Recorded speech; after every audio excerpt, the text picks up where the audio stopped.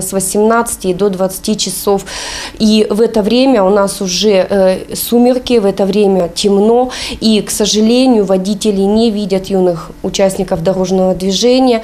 И это из-за того, что у нас отсутствует освещение, это может быть плохая погода, это может быть ос- ослепление встречным транспортом. И э, на данный момент в правилах дорожного движения у нас рекомендовано в темное время суток, а также в условиях недостаточной видимости носить на одежде, на каких-то аксессуарах световозвращающие элементы. В основном детки получают травмы в период с 12 до 18 часов вечера.